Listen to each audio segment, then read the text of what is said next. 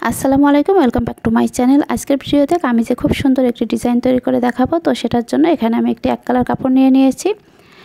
এক কালার কাপড়টার লম্বাটা হচ্ছে বারো ইঞ্চি আর চওড়াটা বিশ ইঞ্চি।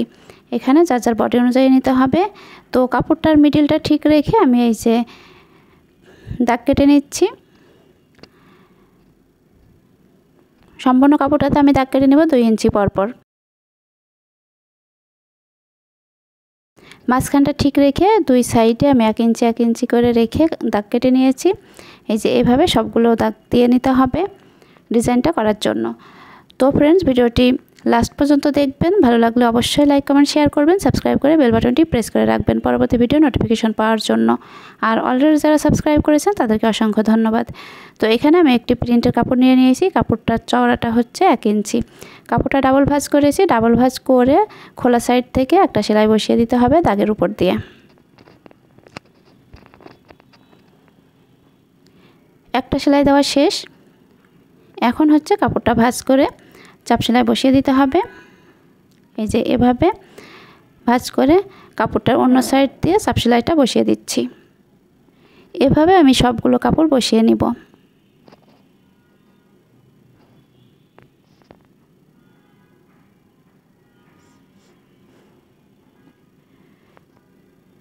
একটা কাপড় বসানো কমপ্লিট।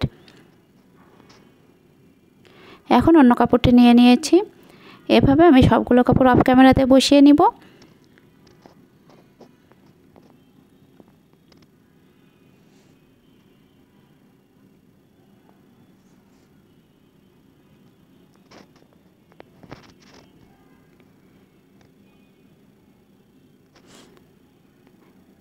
সবগুলো কাপড় বসিয়ে নেওয়া শেষ। এখন হচ্ছে কাপড়ের একটা সাইড থেকে সাত ইঞ্চি আমি একটা মার্ক করে নিয়েছি সাত ইঞ্চিতে। তারপরে যেভাবে আমি একটা শেপ দিয়ে নিচ্ছি। এখন দাগ অনুসারে কেটে নিতে হবে। এটা আপনারা আপনাদের পছন্দ অনুযায়ী করতে পারেন। একটু বেশি অথবা একটু কম নিতে পারেন মাপটা। এখন হচ্ছে এই যে মিডিলটা আমি একটা চিহ্ন দিয়ে রাখছি।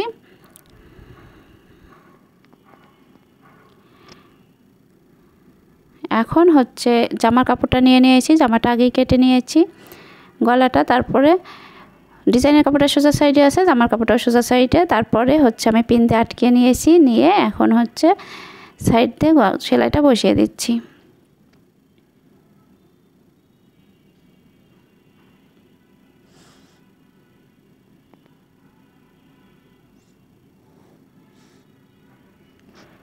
তো ফ্রেন্ডস এই কামিজটা কাটিং ভিডিও আমি ইনশাল্লাহ আপলোড করব, তখন দেখে নিতে পারবেন কতটুকু কাপড় লেগেছে, কী কাপড় ব্যবহার করেছি সব কিছু আমি বলে দিব।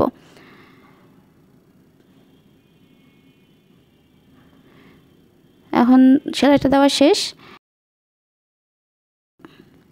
এখন হলো গলাটা কেটে নিচ্ছি। কেটে নেওয়ার পরে ফিনিশিংটা সুন্দর আসার জন্য ছোটো ছোটো করে কেটে নিতে হবে। তারপরে উল্টে নিতে হবে।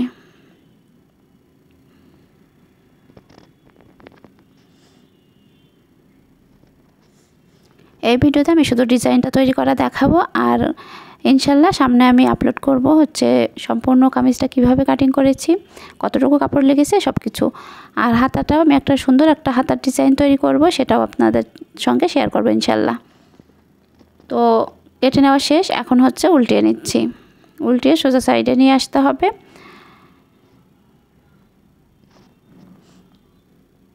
ভালোভাবে উল্টে নিতে হবে। গলাতে আমি একটা ডিজাইন করেছি, দেখতে পেয়েছেন? সেটা হচ্ছে কোনাগুলো ভালো মতো উল্টে নিতে হবে।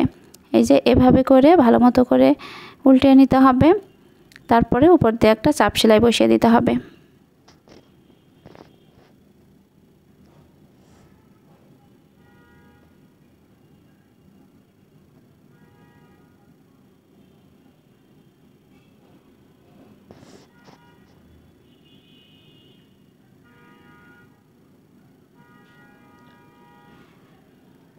এখন হলো এই যে মাঝখানটা মাঝখানটার থেকে ধরতে হবে ফিতাটা ধরে সাড়ে তিন ইঞ্চিতে এখানে মার্কটা করে নিচ্ছি।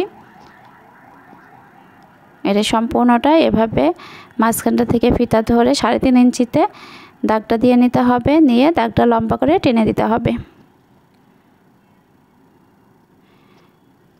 তো আমি একটা লম্বা দাগ টেনে নিয়েছি। এখন হলো নিচের থেকে, এই যে এখান থেকে দশ ইঞ্চির মতো আমি কাটা করে নিব। এই যে কেটে নিচ্ছি, এখানে ফাড়া হবে এতটুকু। এটা আপনারা আপনাদের পছন্দ অনুযায়ী নিতে পারেন। এখানে হচ্ছে একটা পটি লাগাবো। তো এখন হচ্ছে সাইডের এক্সট্রা কাপড়টা কেটে নিতে হবে।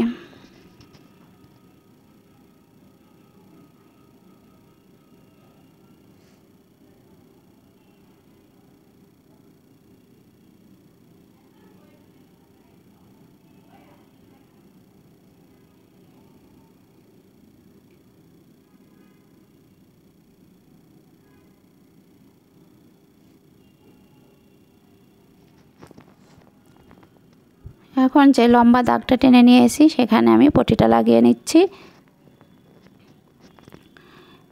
পটির কাপড়টা নিয়েছি দুই ইঞ্চি চওড়া।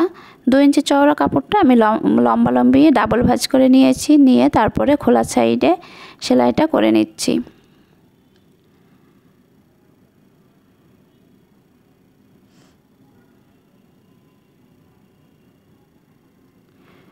দেখতেই পাচ্ছেন দাগ যেটা আমি দিয়েছিলাম, লম্বা একটা দাগ, সেই দাগটা সাইড দিয়ে কাপড়টা বসিয়ে সেলাই করে নিচ্ছি। সম্পূর্ণ কাপড়টা নিচ পর্যন্ত সেলাইটা করে নিতে হবে।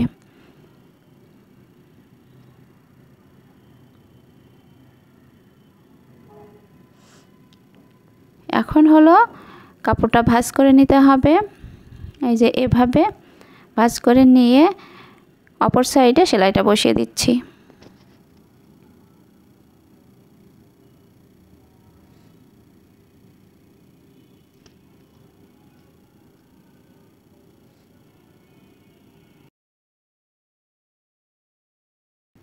তো ফ্রেন্ডস ভিডিওটি ভালো লাগলে লাইক কমেন্ট শেয়ার করবেন সাবস্ক্রাইব করে বেল বাটনটি প্রেস করে রাখবেন পরবর্তী ভিডিও নোটিফিকেশন পাওয়ার জন্য। আর অলরেডি যারা সাবস্ক্রাইব করেছেন, তাদেরকে অসংখ্য ধন্যবাদ। এই যে এই পর্যন্ত, ফাড়া পর্যন্ত আমি সেলাইটা করে লক করে দিয়েছি। এখন হলো অন্য সাইড চাপ সেলাই বসিয়ে নিচ্ছি।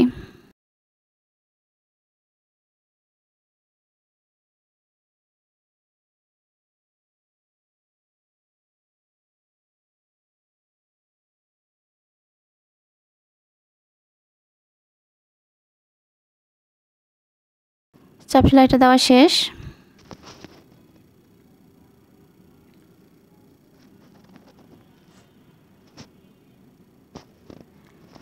তারপরে হচ্ছে এই যে এই কাপড়টা একবার ভাজ করে সেলাই বসিয়ে দিতে হবে।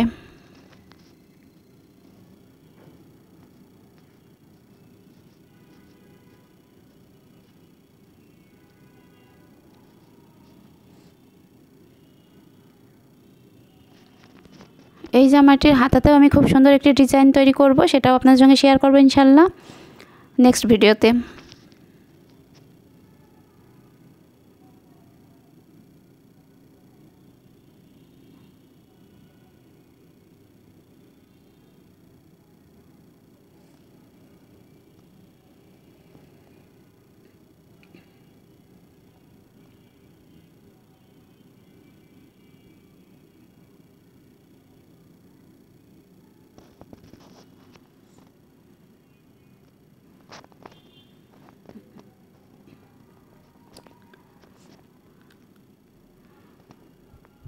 সেলাই দেওয়া শেষ।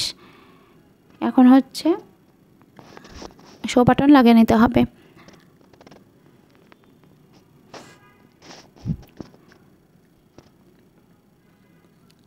এই যেরকম হয়েছে। এই যে এই কাটা অংশটুকু আমি সেলাই করে নিব।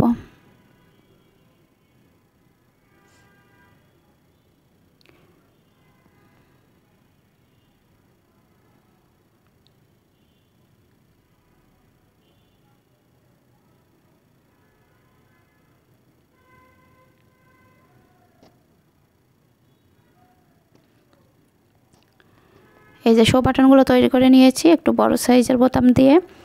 তো এই যে এভাবে আমি সুই সুতা দিয়ে লাগিয়ে নিচ্ছি। এখানে আমি চারটা বড় সাইজের বাটন ব্যবহার করেছি।